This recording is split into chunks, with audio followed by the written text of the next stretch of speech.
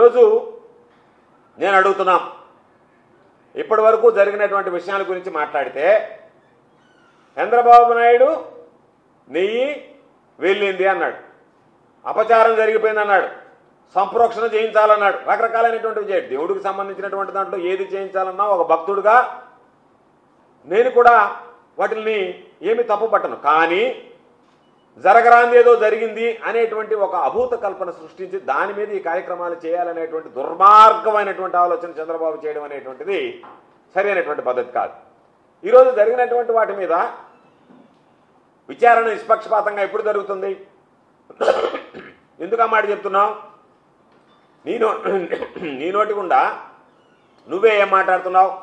చంద్రబాబు నోటి గుండా చంద్రబాబు ఏం మాట్లాడుతున్నాడు? ఇది జగన్మోహన్ రెడ్డి గారికి గతంలో ఉన్నటువంటి ప్రభుత్వానికి ఆపాదించేటువంటి ప్రయత్నం చేశాడు. అటువంటి మాటలు మాట్లాడేటువంటి నువ్వు ఇది నిష్పక్షపాతంగా విచారణ జరగాలి అంటే నీ ఆధ్వర్యంలో నీ ఆధీనంలో జరగడం శ్రేయస్కరం కాదు. దానిని నువ్వు కూడా కోరుకోకూడదు. భక్తులు కూడా కోరుకోవడం లేదు. ప్రజలు కూడా ఇష్టపడడం లేదు. ప్రజలందరూ కోరుకునేది నిష్పక్షపాతంగా దీని మీద దర్యాప్తు జరగాలి అంటే ఏదైనా కేంద్ర ప్రభుత్వ ఆధీనంలో ఉండేటువంటి స్వయం ప్రతిపత్తి కలిగినటువంటి సంస్థ ద్వారా సిబిఐ లాంటిదో అలాంటి దాని ద్వారా లేదా సుప్రీంకోర్టు జడ్జి ద్వారానో విచారణ జరిపిస్తే అసలు అక్కడ ఏ సిస్టమ్ ఉంది ఏమి తప్పు జరిగింది అనేటువంటి వాస్తవాలు వెలుగులోకి చూస్తాయి. నారాయణ మాతృసేవా పథకం అమ్మతనానికి కమ్మనైన పథకం.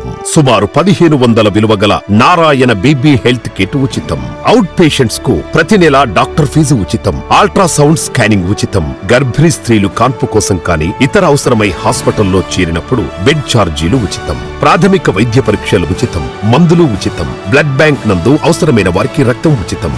ఐదు నుండి తొమ్మిది నెలల గర్భిణీలకు ప్రతి నెల చెకప్ సమయంలో ఉచిత డ్రై ఫ్రూట్ బాక్స్ మరియు వేరుశెనగ చిక్కీలు ఉచితంగా ఇవ్వబడును. బిడ్డ పోషణ నిమిత్తం తల్లికి మూడు వేల రూపాయల నగదు అందించబడును. కాన్పు కోసం అంబులెన్స్ ఉచిత పికప్ సదుపాయం కలదు నెల్లూరు నగర పరిధిలో. నారాయణ మాతృసేవా పథకం నెల్లూరు.